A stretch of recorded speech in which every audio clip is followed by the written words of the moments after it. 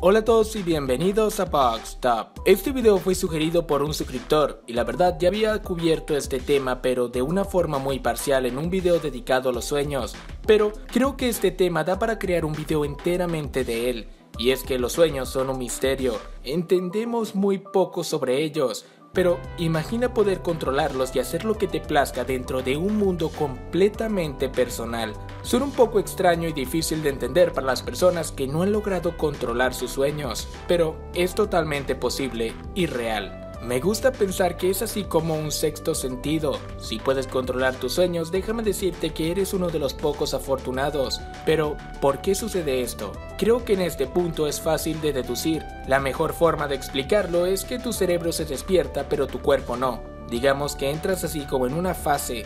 Estás entre dormido y despierto. Diría lo mismo sobre los sonámbulos, pero de una forma invertida. El cuerpo se despierta pero el cerebro no, o por lo menos no en su totalidad. Los niveles de lucidez cubren un rango muy amplio de experiencias, desde tener una pesadilla y al darnos cuenta despertarnos, hasta reconocer el sueño como tal, permanecer conscientes dentro de él y cambiar su contenido con el poder de la intuición. Si nunca lo has experimentado, te recomiendo la película Inception de Leonardo DiCaprio Está muy bien lograda y puedes darte una idea de cómo es quedarte encerrado en tu propio mundo, en tus propios sueños.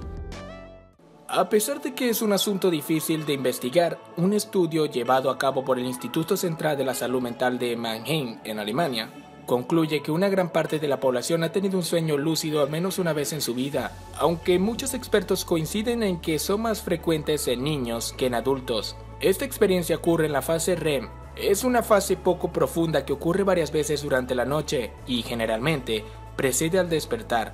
Por eso muchas veces recordamos los sueños que hemos tenido, afirma un experto.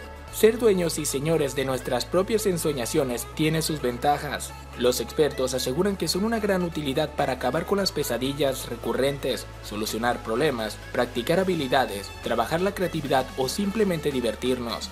Si nunca has controlado tus sueños y quieres intentarlo, Abajo en la descripción te dejaré un link con unos tips para poder lograrlo. Créeme, es una experiencia increíble y sí ayuda bastante. Y bien, este fue el video de hoy.